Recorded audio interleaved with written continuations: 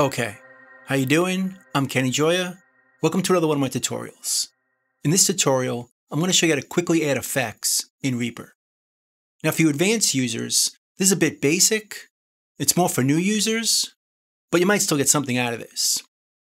So anyway, when we're adding effects, you might think the quickest way is to go here to the effects button, click it, it opens up this dialog, then we hit add, and we can add effects from here. But I find that to be a bit slow. Here's a quicker way. Instead, go to this button and right click it. That opens up this menu right here. And right now, we just see recently used. That's because I haven't created any folders yet. But if we create folders, they're going to show up here as well. So let's do that. Let's open this, go to add, and right down over here, we're going to add some folders. So let's right click, create a new folder, and here we can create a new folder. And now we'll name this new folder. Let's start off with EQ, and let's use the new feature in Reaper 5 called Smart Folders. What this is going to do, it's going to create folders automatically based on the name of our plugins. So if we type in EQ, it's going to automatically create a folder with all the plugins that have the letters EQ in them. As you can see right here. So these are EQ plugins. Let's do another one for compressor. We'll name it compressor or compressors. But for the smart folder, let's just use COMP because some compressors don't spell out the full word. We'll go down here and you can see the Waves compressor is just titled SSL comp. So if we use compressor as the full word, it wouldn't show up. That's important to specify. Let's add another one for reverb.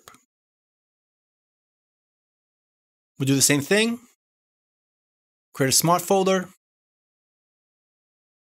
Now we have a folder for all of our reverbs. Let's create another one for delay.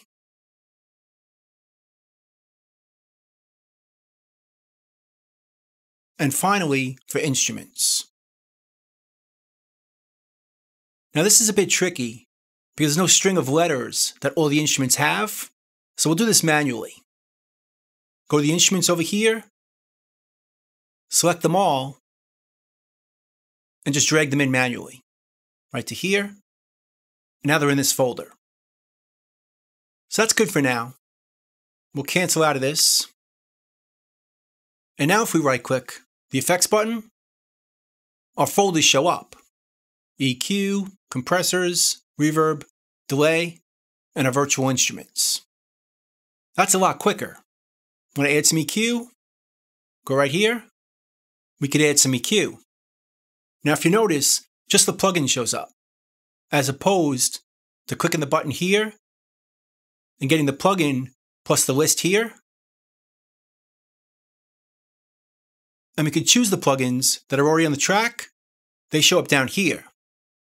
And again, just the plugin opens up, not the list of plugins that are on the track here. Let's add a compressor. Go to the folder, choose the compressor here, and that does the same thing. And also note, it'll put the plugins in order based on when we select them. So our EQ is before the compressor because we chose the compressor second. But we could switch it right here. Put the compressor before the EQ or the EQ before the compressor.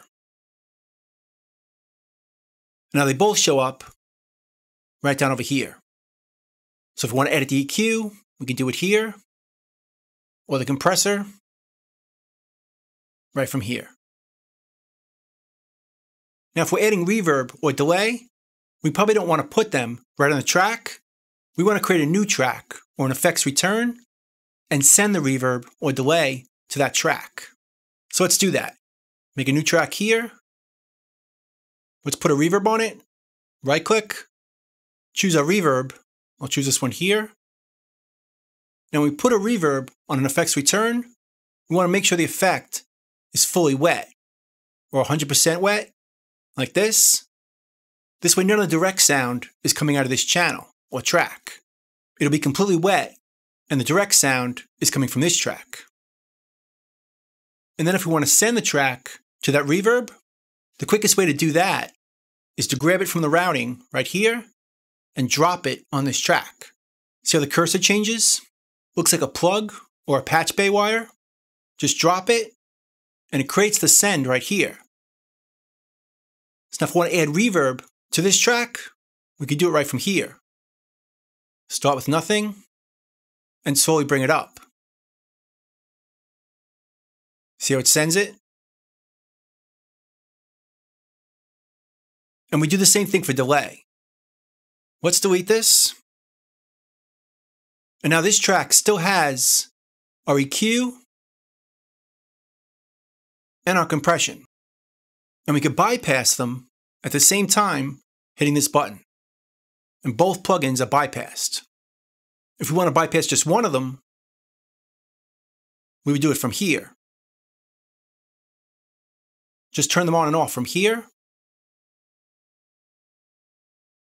And if we want to delete the plugins in one shot, go to the effects button, hold an option on the Mac or alt on the PC, and it removes them with just one click. So there's no effects on this track. Notice it's not green anymore? So that's pretty much it. That's the quick way to add plugins or effects to any track. Create our folders right here, and then right click the button and choose them right here. EQ, compressors, reverb, delay, or instruments. And obviously, you're going to set up the folders how you prefer them. So anyway, that's how to add effects or plugins to tracks very quickly in Reaper. I hope you learned something, I hope you can use it, and I'll see you next time. Thanks.